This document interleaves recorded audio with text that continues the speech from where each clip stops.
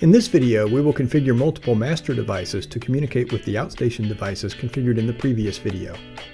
To create new masters in DTM, we right-click on DTM, select Manage, Add, and I want to group my masters together, so I'm going to add a folder.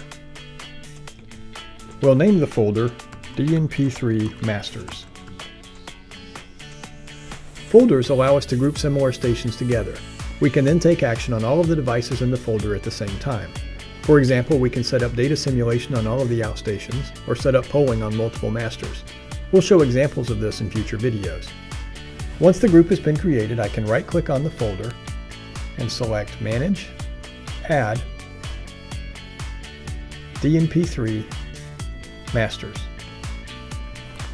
This opens a dialog which lets us configure the device. We can click through the various tabs and see the different configuration options. For this demo, we'll use the default selections on the device, channel, and session tables. The Advanced tab allows configuration of items that are not usually changed. Once again, we'll just take the defaults. On the Multiple Devices tab, we'll select the Create Multiple Masters radio button. We want to communicate with six outstations in this demo, so we'll create six masters. Notice that the table is populated with configuration data for each device. Here we could change the device name or other information. Note that by default the devices start with the port specified on the Channel tab, in this case the DNP3 default port of 20,000, and increment for each device. Since we're just using the defaults for this demo, we could select OK. However, I'm going to cancel in order to show how to configure devices using a comma-separated value or CSV file. Using a CSV file allows us to configure multiple devices at the same time, even if their configuration differs. Here we see a sample CSV file.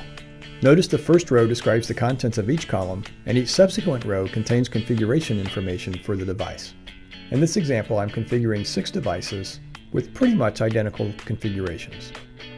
However, we could just as easily have different configuration values in each column, allowing us to configure multiple devices with different configurations. To load the CSV file, I click Load Configuration from CSV File and select the file in the subsequent browser. Once again, we can see each of the devices and the configuration as it was loaded from the file. Now we can click OK. We now have six DNP3 master stations. If we look in the device tree, we can see that each of the masters and outstations now show a successful connection.